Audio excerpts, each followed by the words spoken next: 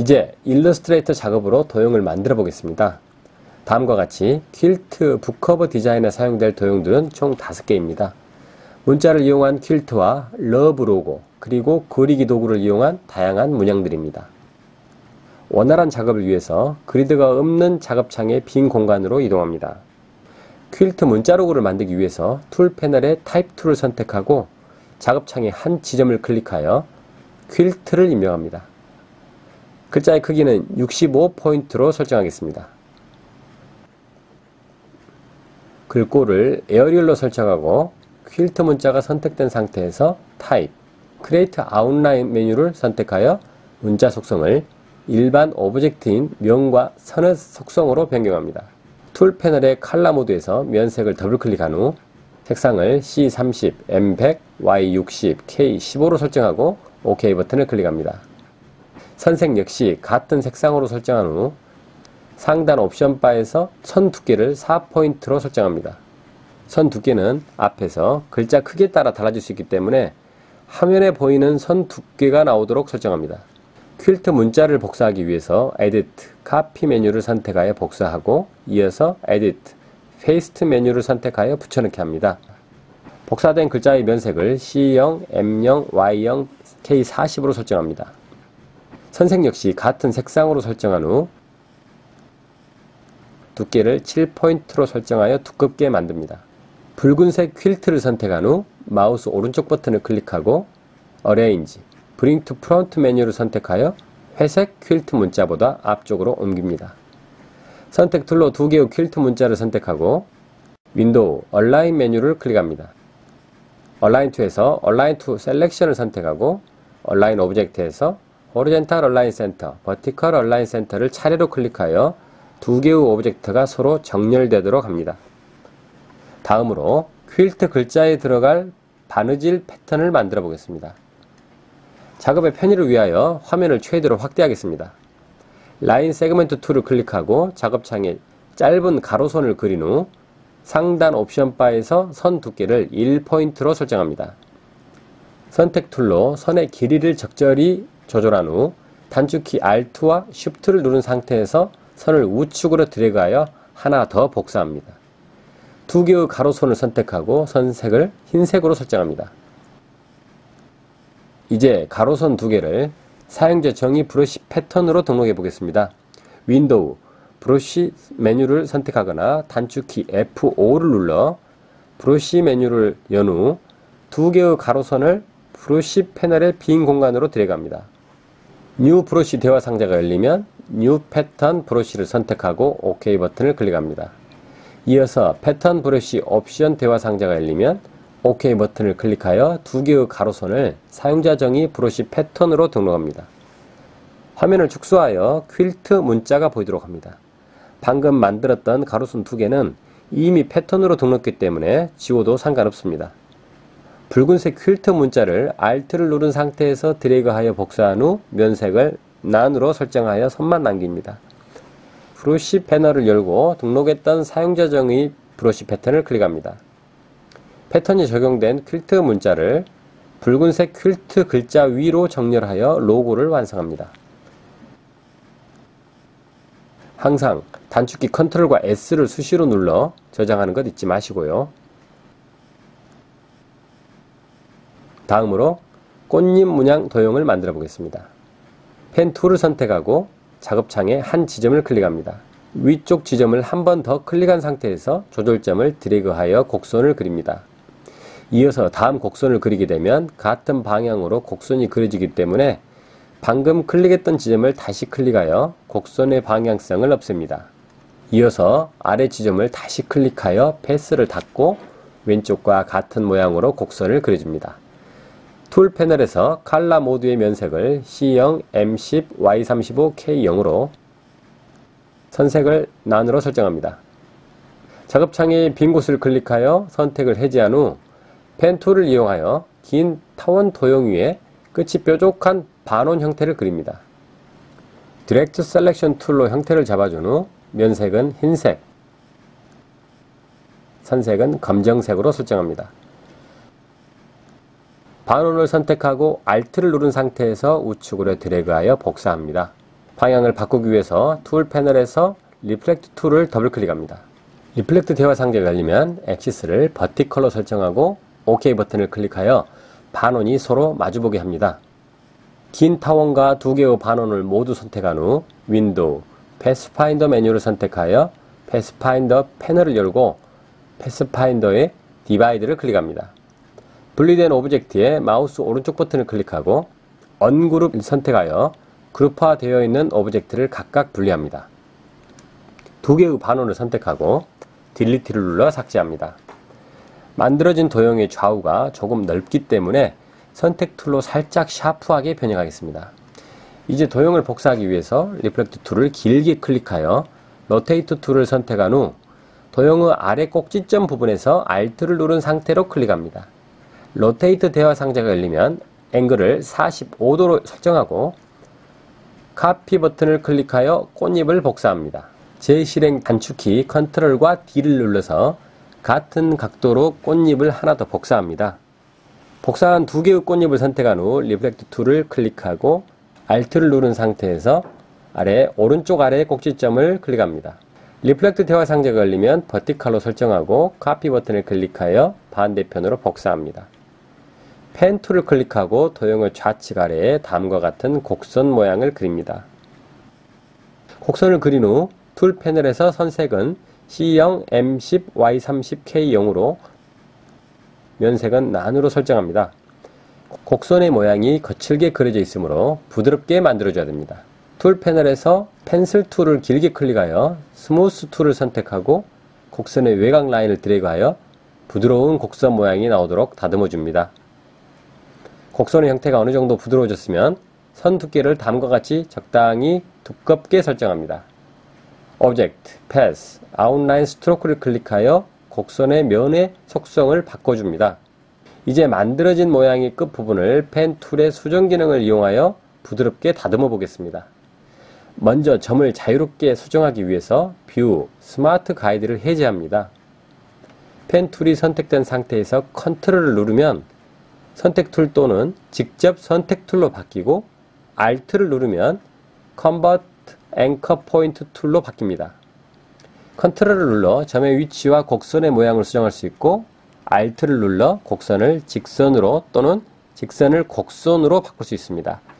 pen tool로 이러한 수정 기능을 이용해서 끝부분을 다음과 같이 수정합니다.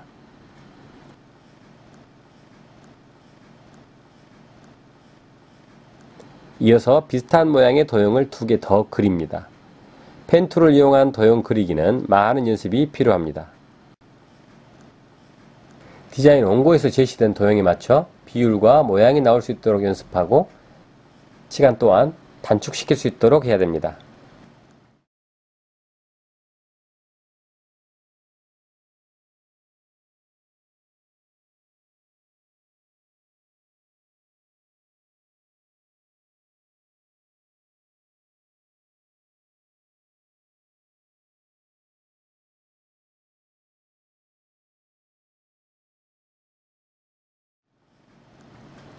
모형이 완성되면 전체적으로 디자인 원고에 맞게 형태를 다시 한번 수정해 줘야 됩니다. 꽃잎 좌측 아래에 그린 곡선을 모두 선택하고 reflect tool을 이용하여 우측에 복사합니다. 아래에 하나 더 도형을 추가하기 위해서 pen tool을 이용하여 다음과 같은 모양을 그립니다.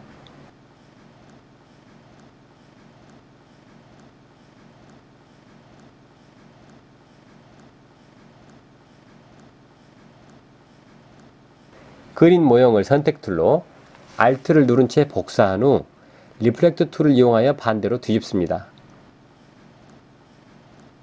두 개의 object를 선택하고 pathfinder 패널에서 shape mode에 unite를 클릭하여 하나로 합쳐줍니다.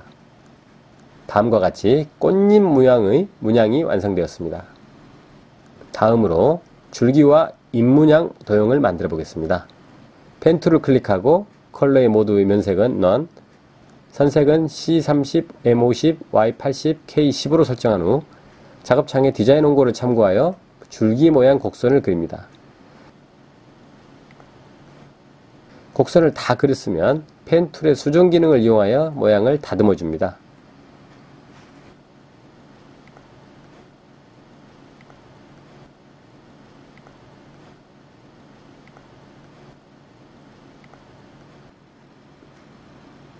smooth tool을 이용하여 곡선의 모양도 더 부드럽게 만들어줍니다.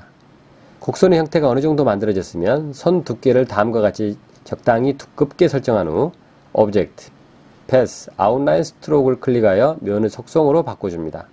다시 pen tool의 수정 기능을 이용하여 끝부분의 모양을 수정합니다.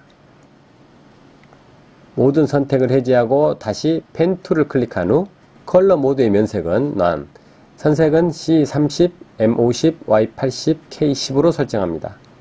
이어서 pen tool로 줄기 아래쪽에 잎모양 문양을 그립니다. 곡선을 다 그렸으면 위와 같은 방법으로 pen tool의 수정 기능을 이용하여 모양을 다듬어 줍니다.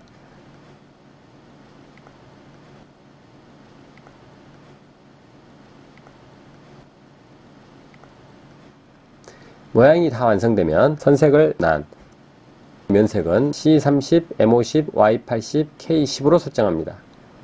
완성된 줄기와 잎을 복사해서 디자인 원과 같은 문양을 만들어 보겠습니다. Alt를 누른 상태에서 도형을 우측으로 드래그하여 복사한 후 복사된 도형을 모두 선택하여 다시 Alt를 누른 상태에서 복사합니다. 방금 복사된 줄기와 잎을 reflect tool을 이용하여 상하를 뒤집은 후 디자인 원고와 같이 배치합니다. pen tool을 이용하여 계속해서 나머지 문양을 그립니다.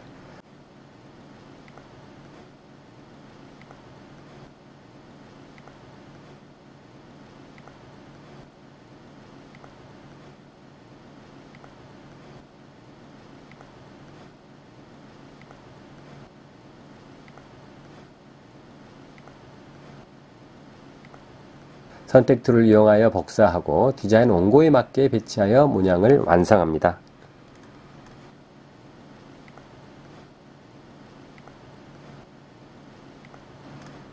다음으로 마름모 문양을 만들어 보겠습니다. Rectangle Tool을 클릭하고 Shift를 누른 상태에서 작업창을 드래그하여 정사각형을 그립니다. 툴 패널에서 칼라 모드의 면색은 흰색, 선색은 검정색으로 설정합니다. 만들어진 도형을 Rotate Tool로 회전을 하겠습니다.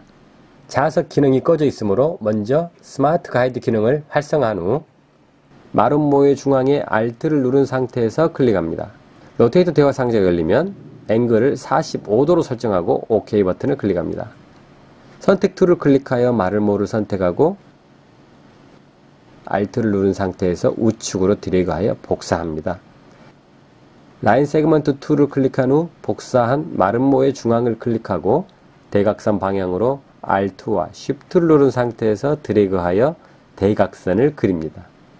선택 툴로 마름모와 대각선 두 개를 모두 포함하여 선택한 후 Pathfinder 패널에서 Pathfinders Divide를 선택합니다. 대각선이 지워지면서 마름모가 4개로 분리됩니다. 언그룹 명령으로 그룹을 해제한 후 상단 마름모를 선택합니다. 컬러 모드를 CMYK로 바꾸고 C0, M35, Y85, K0 좌측 마름모는 C15, M15, Y60, K0 우측 마름모는 C20, M5, Y5, K0 하단 마름모는 C0, M55, Y60, K0으로 설정합니다. 선색은 모두 난으로 설정하여 외곽선을 없애줍니다.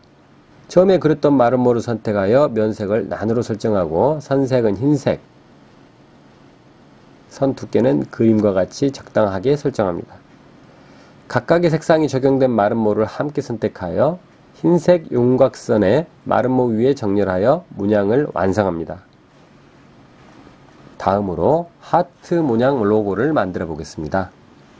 펜 툴을 클릭하고 면색을 C0, M95, Y20, K0으로 설정한 후 하트를 만들기 위한 곡선을 그립니다. 하트의 반쪽 면만 그린 후 반대편 면은 복사해서 완성하도록 하겠습니다. 펜 툴의 수정 기능을 이용하여 하트 모양을 다듬어 줍니다. 어느 정도 모양이 다듬어졌으면 Reflect Tool로 반대편 모양을 복사합니다. 복사된 두 개의 오브젝트를 함께 선택하고 Pathfinder 패널에서 Shape Mode Unite를 클릭하여 하나의 오브젝트로 합쳐줍니다. 디자인 원고를 참고하여 하트 모양을 좀 더 다듬어서 샤프하게 만들어줍니다. 펜 툴을 클릭하고 LOVE, Love 글자를 그려보겠습니다. 우선 L자를 그린 후 면색은 None, 선색은 검정색으로 설정합니다. 선 두께를 그림과 같은 두께로 설정합니다. 나머지 OVE 글자도 펜툴로 차례차례 그려줍니다.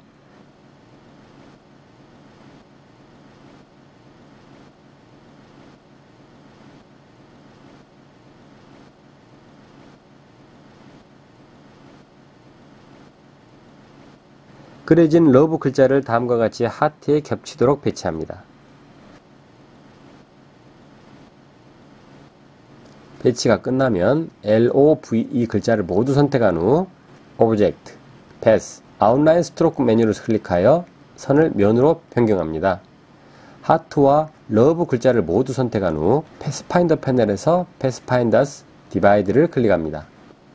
Ungroup 명령으로 그룹을 해제한 후 LO 글자를 지워줍니다.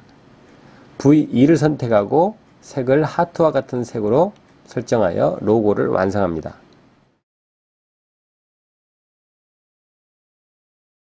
다음으로 금박 라벨을 만들어 보겠습니다. Rectangle Tool을 클릭하고 Shift를 누른 상태에서 작업창을 드래그하여 정사각형을 그립니다. 금박 색상을 넣기 위해 Gradient Tool을 더블 클릭한 후 Gradient 패널에서 타입은 Linear, 앵글은 마이너스 45도로 설정합니다. 그리고 좌측부터 첫 번째 슬라이드 색상은 C0, M30, Y80, K30으로 설정하고 두 번째 슬라이드를 다음과 같은 위치에 추가한 후 색상은 C10, M60, Y95, K50으로 설정합니다. 세 번째 슬라이드 역시 새롭게 추가하고 색상은 C0, M0, Y60, K0 네 번째 슬라이드는 기존의 오른쪽 슬라이드를 왼쪽으로 옮긴 후 색상은 C0, M55, Y100, K60으로 입력합니다. 툴 패널에서 Rotate Tool을 클릭하고 사각형의 중앙을 Alt를 누른 상태에서 클릭합니다. 앵글을 10도로 설정하고 카피 버튼을 클릭합니다. 재실행 단축키 Ctrl과 D를 계속 눌러 사각형이 10도씩 회전하며 복사되도록 합니다. 복사된 사각형을 모두 선택한 후 Pathfinder 패널에서 Pathfinder Unite를 클릭하여 하나로 합쳐줍니다. 다음과 같이 완성된 결과를 확인하고 저장합니다.